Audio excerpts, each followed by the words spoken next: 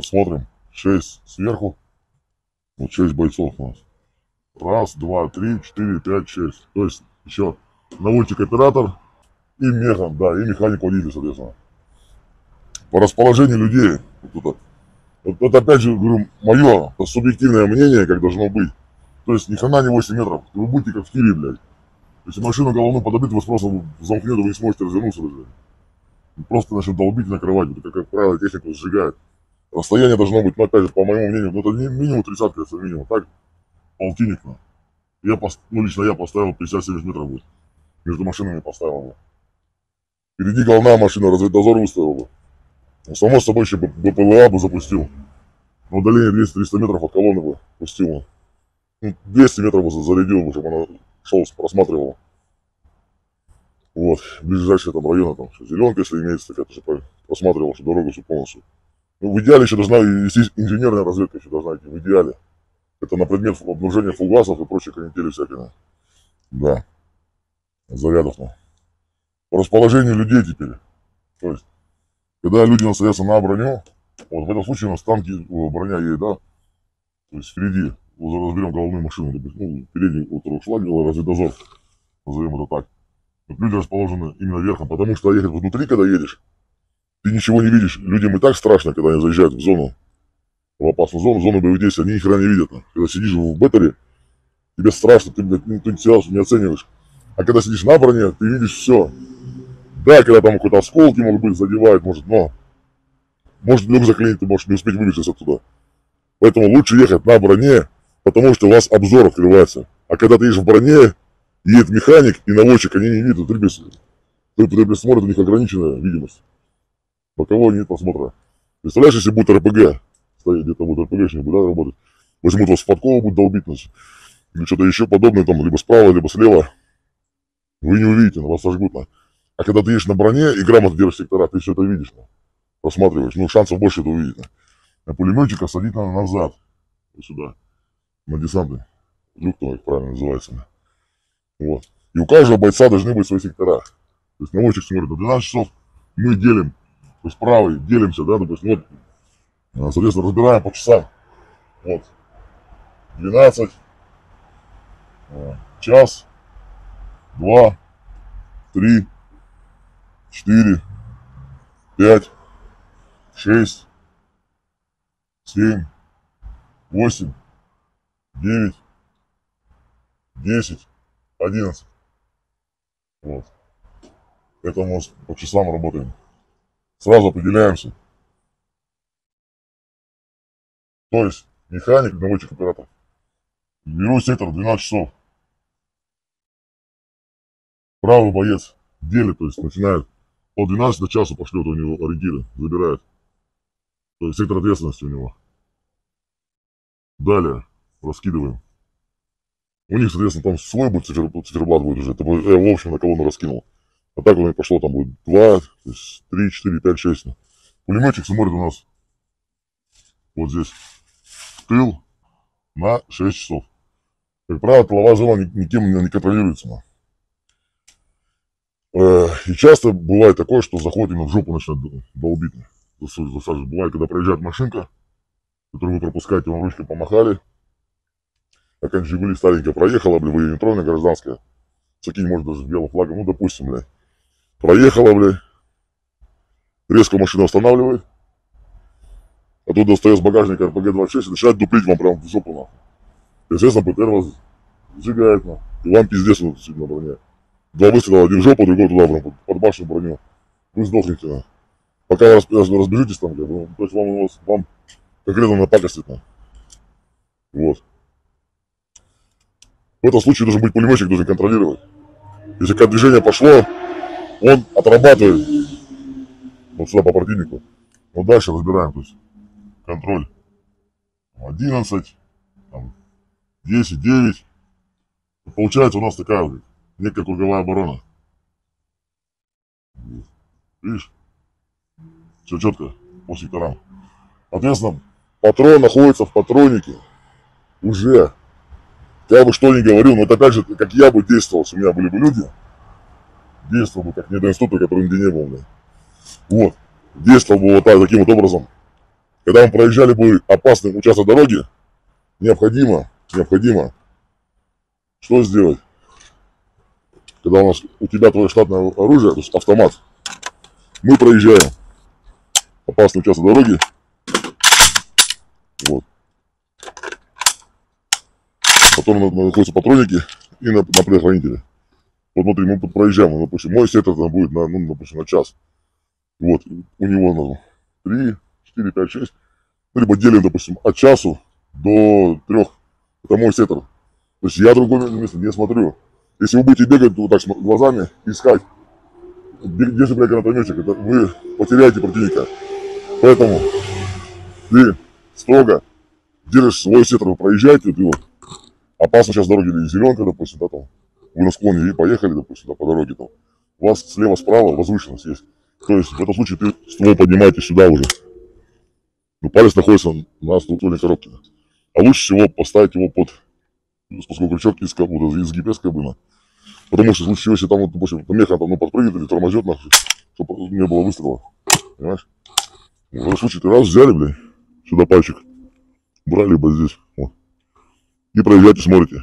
Вот так ствол не виляешь, у тебя если вот, ты техника, это вот, и вот ты просто по инерции за ней. Вот, как у тебя домсетер был, ты просто как техника едет, у тебя автомат так и смотрит в свою сторону. А пулеметчик смотрит назад. Ну, ему тяжело будет поднимать, конечно, но просто хотя бы, чтобы он в таком положении сидел уже наготове. Проехали склон, все. Стволы можно опустить. Снова на предохранитель. Проезжать машина, допустим. Как случаи бывали. Проезжал лазик, буханочка. Останавливается, борта открываются, а там утес стоит. Ну. И начинает прям петушить в колонну бить. Ну. Бронебойный прям та-та-та-та-та лупить. Ну. Уже обшиты внутри листами, блядь, стальными. Ну. Туда шки с песком выложены, начинают туда петушить. Ну. Так же самое может машина проезжать, гражданская. Могут быть там даже дети могут быть. Кого угодно могут посадить там рядышком, чтобы вам по пушке помахали. Ты, ты на расслабончике, а нормально, ты дети, блядь. Машина также останавливается на, начинает дуплить. Сам прохожие беженцы могут идти с большими баулами, блядь, идти. Типа, типа убегает, на. То самое может быть там РПГ-26, понимаешь, одноразовые дуры, нахуй. Туда могут шмалять начать. Поэтому проходит кто? Это всегда, ну, так, это мое мнение. Нужно быть наготове уже. Уже машина поехала, уже все. Ну, в идеале, конечно, это все сопровождать. Уже просто поставил на проходите, все, машина едет, все уже в готовности. Взял на контроль. Кто же испугается, ничего страшного. Они же, блядь, на войне находятся, чуть раньше не уехали. Да. Это вот эти безобидные граждане могут насувать, понимаешь? Вот, а если даже у них какая-то мысль была это сделать, но когда они увидят, что вы заряженная и держите сектора, возможно, у них эта мысль отпадет, такие вещи с нами. Если не увидят, что это распиздяи такие, спящие, конечно, они отработают. Ну. Вот, поэтому, когда, я говорю, преодолеваем опасную часть дороги, либо какие-то мутные машины, всегда мы держимся, на контроль. А так вот в положении стоподу едете, все, вот уже, патрон, патроники, все, готовность, все снять, сразу вот напихать. И пулеметчик спать не должен. У него очень большая ответственность. Он сзади. Дальше, смотри, расположение. Вторая машина, допустим, едет. Башня смотрит вправо. Вправо. Лево, даже третья машина едет, смотрит влево. Таким вот образом. То самое, видишь, мы, так сказать, уже некая круговая оборона получается, согласен? Вот 12, 3, 9 часов. Да. Ну, аж на 6 там пулеметчики сидеть. Ну. Потому что башня не может крутиться так туда. Ну, по идее можно, но это не, ну, нецелесообразно это делать. А людей мы располагаем вот сюда, видишь. Раз, два, три, пулеметчик. Раз, два. Вот, а сюда уже как бы где башня. Сюда мы людей человека не посадим. Ему надо этому бойцу будет забирать. Вот это секторно. Вот так он забирает 12 часов. Ну дальше, соответственно, братва уже пилит. Ну, допустим, этот час, по три разбирает, ну и так далее. ПК, ПК смотрит в тыл, контролирует. Ну и так же самое здесь бойцы располагаются. На броне, сверху. Потому что мы все видим, что имеется. Вокруг нас. Если мы не, не дегенераты, блядь, а нормальные воины, которые знают, куда они попали, блядь, вот, то они будут держать сектора. Ребята ответственны должны. У каждого, говорю, своя свой сектор ответственности, который ты должен держать, ты должен искать. Ты проезжаешь, допустим, зеленку, ты едешь, у тебя очко играет, ты ищешь, бля, где же он, где же он? Если ты будешь отвлекаться от своего, а вот ты, ты потеряешь. Вот если тебе говорят, с часу до трех, ты все, вот его, ты держишь. Другой боец, который справа, слева тебя, справа, у него с трех, блядь, до пяти его сектор. Вот так вы и смотрите, вот просто проезжаете, смотрите и контролируете. Потому чтобы отработать гранатомета, самому опытному гранатометчику минимум на 2 секунды нужно. Вот самая минималка, то есть ну, меньше ну, невозможно сделать. Вот 2 секунды, чтобы он вспыхнул, то есть поднялся и навел и хлопнул в тебя. Ты должен в этот момент отработать четко, на, взять и, и снять его. На. Вот если ты увидел, ты не лежишь сначала э, РПГ на 9, потом стреляешь, сразу долбишь и одновременно кричишь, на. потому что ну пока ты пикнешь там, ребят, он уже в тебя полетит. На. Понимаешь? Машину замкнут здесь и, и вилы будут. На. Здесь же, в принципе, даже если контакт, допустим, слева будет, развернется, заявится какие. Но обычно, говорю, это будет типа под такого подкова будет. Подковообразно будет хуярить. Где РПГ. Вот. Здесь машины могут вот все сделать, развернуться могут, маневрировать. А если после метров, ну ты, блядь, замкнешься, понимаешь? Здесь обычно куда бьют? Даже танк едет, то бить на под башню, где находится экипаж, экипаж и БК. Бить по гускам, ну что там танк разуешь, нахуй. И то же самое БМП на тебе, блядь, развернет на башне, когда отпетушит твою сторону. Поэтому они могут разворачиваться таким вот образом. Вот так повернуть могут. Соответственно, минимизировать свой, ну, скажем так, силуэт, блядь. Или так, где танк стоит, или ты так его развернешь, на. И у тебя, если на танке там броня стоит хорошая для механика, насколько я знаю, я не танкист, ну, вот слышал вроде так, ну. И попасть, ну, сложнее будет, на. И они могут бить, то есть, таким вот образом. Ну, соответственно, принимается решение командира там съебать. Либо шаг на порядке не будет разъезжаться, у каждого будет свой там боевой порядок, кто как бы выстраивает его там. Это уже углубляться в это не будем, я пока у нас сейчас задача понять, как рассадить людей. То есть по-любому на технике, потому что мы можем многое замечать. А если будем сидеть внутри, как бы мы никогда не увидим, блядь. Шансы нас раздолбить, блядь, увеличиваются. Ну. Это же другой вариант, когда там уже мы спрыгиваем там с БТРа там, как десантироваться с него нужно, грамотно занять позицию, блядь. То есть не сзади, блядь, не спереди, потому что механик может, блядь, затупить, нахуй, может задавить, может, нахуй. Уходим в сторону, ну там уже отдельно тема. Разворачиваемся, занимаем позиции. Рядом с техникой находиться тоже, как бы, ну, вплотную опасно будет. Может прилететь тоже, задеть тебя может, короче, погоришь. По технике тоже залазить не надо, нахуй сложит, нахуй, придавит, нахуй. Где, блядь, сгоришь там, нахуй. Поэтому нужно грамотно, говорю, с него сразу спрыгивать, нахуй. Опять же, это контроль оружия, как ты, блядь, изготавливаешься, нахуй. Вот. Это тоже, говорю, уже один, один вот. Модификация БТР-82 есть, э, получается, 4 люмика, получается, да? И, допустим, э, допустим, некоторые вот по поясу встают в этот люмик, получается. Э, телом, телом они, получается, в броне, Угу. И, и вот они только стоят. Вот, насчет этого. Можно ли так? Э, целесообразно? Ну, если это стрелковый бой, то, возможно, да. Если из гранатометника он засадит джевелин, там, который сожжет весь экипаж, ну, то я бы, я бы тут слинял, бы тут прыгнул бы на оттуда. Как бы на земле рассредоточиться, ну, вариантов больше, ну. Ну, ну, так говорю, по моему мнению, ну, от осколков, да, помогает, какая-то броня там у тебя будет, ну, это да. Находиться в технике ты видишь, когда у тебя, знаешь, ты будешь там как заноза в заднице будешь. Прикинь, вообще вся толпа собралась в Беттерина, и все бум-бум отстреливаются. Пока вас будут отвлекать, вас может, допустим, тот же самый пулеметчик отвлекает вас, по вам работает, вы там тюн-тюн-тюн загибаетесь. Гранатометчик обходит, допустим, у вас справа либо слева. Могут обои просто так зайти, вот даже ползком отползти на, как типа клещи взять и как въебать с обеих сторон. Либо один отвлекает, второй хуярит, на, все.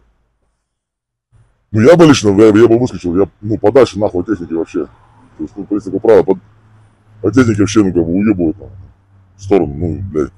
Это там не такая броня, что которую ты спасатель РПГ. А если цель выявили, всем разворачиваться к этой цели или продолжать держаться? Это командир решает, определяет. Могут здесь обманка стоять, может здесь пару петушков отобьют, ну, а другие здесь. Только понятно, это двусторонняя засада, ну. Особенно если вы поедете, вот, по, допустим, типа как ущелье будет такое снизу, будете ехать, слева, справа будет возвышенность, то, как правило, это будет двусторонняя засада будет. Вы становитесь как на ладони едете. Сверху вас видно. Вас гасить проще будет. Лупить. А так, конечно, выявляется, определяется. Ну, в зависимости, как кто ставил засаду. Ну.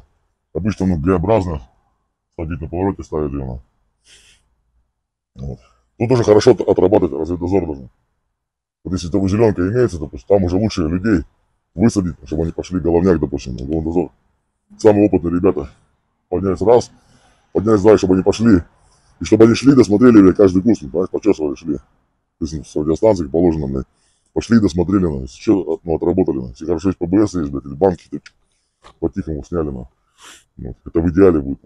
Потому что слепую ехать, ну, это будет вилой, короче. По-любому должна вестись разведка, это однозначно. Тогда шансов выжить больше будет. ну. Вот. А так, если, ну, если, конечно, вы выявили, что реально контакт вот налево, допустим, или вот, на, вот начиная, допустим, с 9 часов по 12 часов, вот так, Г-образно, то, соответственно, уже туда должен направленный огонь быть сосредоточен и ебашить. ну. Возможно, будет высылаться группа, чтобы взять в клещи противника. Но если он с лесополосы идет, как бы, и ты пойдешь за ним в лесополосу, можете заманить, и ты посрываешь там, блядь, замени, ну, либо там минные поля сделают, ну, либо узенки растянут. Ну, зависит от фантазии. Ну. Либо замкнут дистанционно подорвут, будут съебаться, когда оттягиваться. Либо заманят, как бы, там будет, будете их нагонять будете. Могут то же самое минометами отработать. А там у у каждого своя тактика. Ну. Это в, в нынешнее время бежать это не стоит. Ну. Отработать подавили им по съебкам. Ну. Идти на незнакомую территорию не стоит, ну, понимаешь? Забегать куда-то вправо, влево, это тоже не значит находится. Все это может предусматриваться. На каждое действие есть противодействие, тактику все изучают. Нашу тактику давно уже все знают, как мы работаем, понимаешь? Оно для них уже давно знакомо. Поэтому, знаешь, есть такое правило, изучайте противника, учи противника. А тогда это, это грамотно будет. Понимай, как действие, изучать нужно противника, как они работают. Опять же, нужно выявить, какие огневые средства по нам работают. Нужно понимать. Это вопрос только подготовки. Опять же, если у тебя нет моральной психологической подготовки, ты здесь сдохнешь. ну. Потому что ты красиво стреляешь, цель, цель, пиу, пиу там, бля, с этими, бля, с хорошими стуторами в тире, это ничего не говорит. За угла там красиво нарезаешь углы. Если тебя нет вот такого, такого, знаешь, тебя гоняли там, там прессинг такой, ну, давили, давили тебя постоянно, вот обстреливали, кровь, вот, имитация крови, взрывов была. Ты не отработал, ты должен вот определиться, понимаешь, откуда долго, где, откуда противник, по-моему, работает, должен это понять. Когда вот все взрывается, рядом все летит визги, кровище, блядь, кишки того, ну, там, товарища, блядь, ну, просто лидер выпал, нахуй, ну, или башка отлетела, блядь. Ты в суете не можешь понять, что происходит, просто зажимаешься и, и орешь, нахуй. Это время тебя петушат, нахуй. А ты должен четко быть хладнокровно работать, нахуй.